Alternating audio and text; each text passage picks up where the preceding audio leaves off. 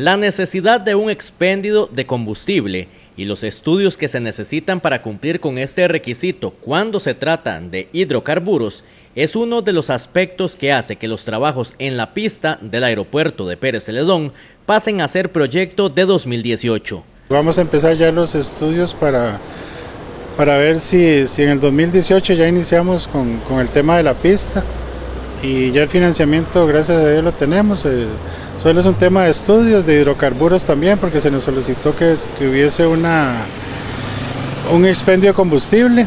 Entonces eso nos lleva a un estudio un poquitito más, más profundo ahí con el tema de hidrocarburos, pero que esperamos que, que a finales de año empecemos con, con el tema de la pista. Roberto Celedón de la Zona Económica Especial explicó a SN Sur Noticias que la pista del aeropuerto es un tema grande y que mejor se tocará hasta el año próximo aunque todos los permisos y aspectos que rodean esta construcción marchan por buen camino.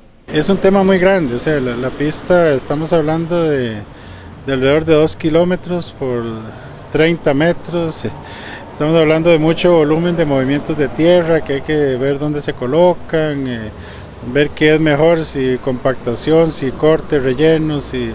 Entonces esos estudios sí nos van a, a demorar un poquito más y es un tema muy grande, entonces hay que hacerlo despacio. Nosotros estamos apuntando al 2018 a ver si ya, si ya arrancamos formalmente con la construcción de la pista. Un proyecto de ley ya está en el camino también.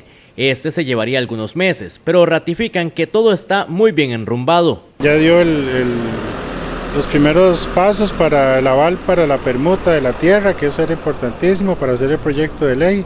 El proyecto de ley, yéndonos bien, son unos cuatro meses. Entonces, por eso es que, siendo realistas, eh, cuando ya eso lo tengamos, más los estudios finales de año, principios del 2018, estaríamos con el tema de la pista. Celedón también dejó claro que hay varios acercamientos de personas interesadas a nivel local en el proyecto aeroportuario que se pretende construir en Pérez Celedón y que son parte de la ciudad aeropuerto y dentro de la zona económica especial. A nivel local sí hemos tenido mucho acercamiento de de gente muy interesada en, lo que es los, la educación, el tema aeronáutico, los clubes eh, también aeronáuticos, las escuelas, eh, los operadores de turismo. Eh, entonces, es un, es un tema que nos va a beneficiar mucho el desarrollo de toda la región y el país, porque el país, dentro de la planificación que tiene aviación civil, ellos tienen muy claro los aeropuertos regionales que ocupa el país, más el aeropuerto de Orotina, que sería el aeropuerto internacional de Costa Rica y nosotros estamos entre el aeropuerto regional. Este año se comenzará la construcción de otros elementos que rodean la ciudad aeropuerto.